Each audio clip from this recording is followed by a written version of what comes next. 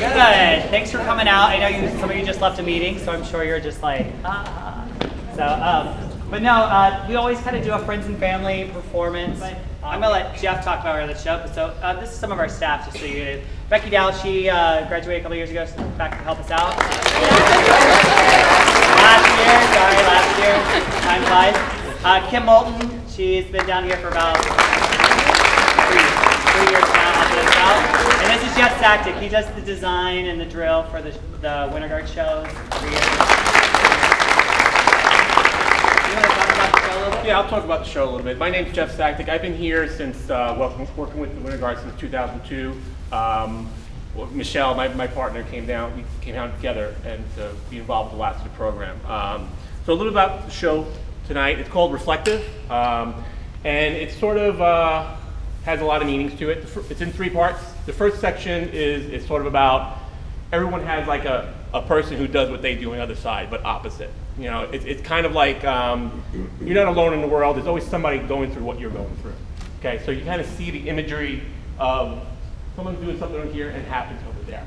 And that kind of trend uh, goes on into the second part, um, which is more about reflective in terms of where you think you came from, okay, and where you think you're going to. Okay, we start with some rifles. Um, there's a dancer that comes out that represents someone new doing something. There's a flag in the middle that represents some, somebody in intermediate skills, and then it all comes together like two people working in tandem.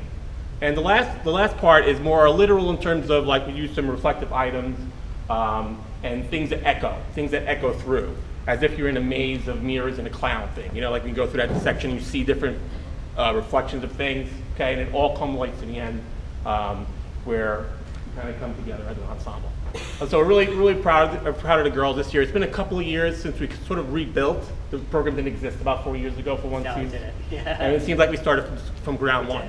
From that point to now, we kind of doubled our personnel, and, and, and your children are, are doing great this year. We're so proud of them, and they're going to have a great performance, I'm sure of it. Um, that's about it. Yeah, so like you said, the growth that we've had within the program in the last three years, and just this season has been amazing. Um, just short of amazing, just from, I mean, just everything that these young women have really put through, put, pushed through.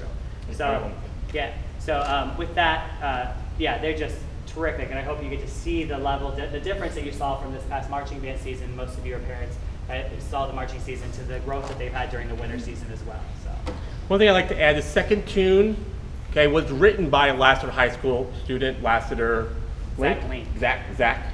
Zack Link, Yeah, excuse he was in the front ensemble this past year. Um, he's also he's in orchestra as well. So he's been through that. He composed a piece in honor of Michelle, um, and we decided to put it in the show this year, Jeff. Yeah. As soon as I heard it, I knew we had to have a part of, part of the program Yeah. to honor her, also to connect the Lassiter community in what we had went through. Even the section of that show had some colors that she would have used, some ideas she would have brought to the, to, to the show.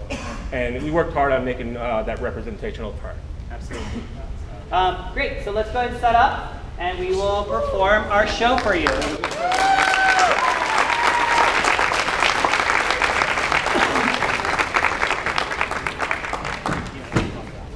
Joining us from Marietta, Georgia, the Lassiter high school winter guard.